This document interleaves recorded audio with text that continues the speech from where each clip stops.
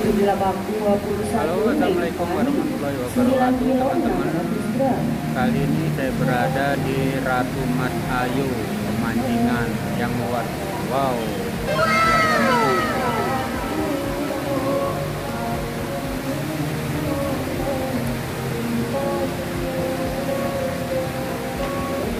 Oke, ikuti keseruan kami ya dari awal sampai akhir Galatama di Ratu Mas Ayu semoga sukses dan menang.